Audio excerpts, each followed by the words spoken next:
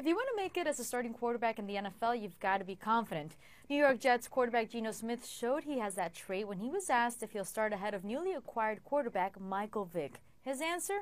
A simple yes. For more on this, we bring in ESPN Jets reporter Rich Cimini. Rich, what kind of competition will we see with Smith and Vick?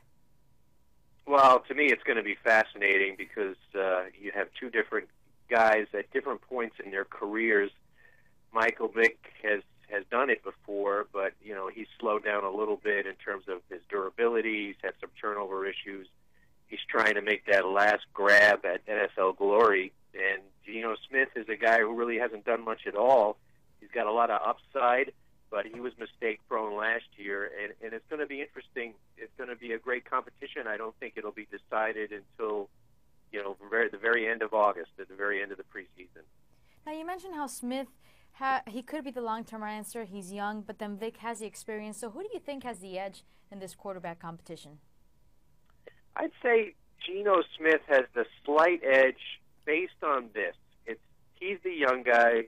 He has the most upside, and he is a, former second-round draft pick of this organization. So clearly, they have an invested uh, you know, a, a, an investment in him. They want him to see him succeed. So he will get every opportunity to be the opening day starter.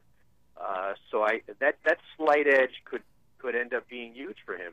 Uh, Geno, I mean, Michael Vick has more experience and he knows this offense better than Geno Smith. So those are the little edges he has. But I think when when push comes to shove, Geno Smith is the preferred candidate simply based on that he has a bright future. Now, last season, the Jets' quarterback position was up in the air until we had Mark Sanchez's injury at the end of preseason. Rich, what kind of pressure do you think the team is under to solidify the quarterback position early? Well, hopefully they'll have a, a decision this time because last year was like a riddle. It was like a it was like a, a, a question without an answer.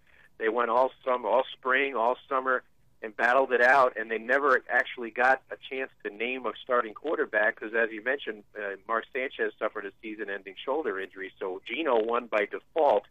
So there, you know, there is some pressure on the team to actually see this to a conclusion this year, and uh, you know, hopefully neither one of these guys gets hurt, and uh, you know, you, you just hope that it's the best competition and brings out the best in both these guys. And um, but like I said, the timetable is going to be uh, the, the full timetable. I, I don't think there'll be a decision made on this until the third or fourth week of the preseason. Rich Cimini with the insight for the latest football news. Make sure to keep it right here on ESPN.com. I'm Antonieta Collins with your ESPN headline.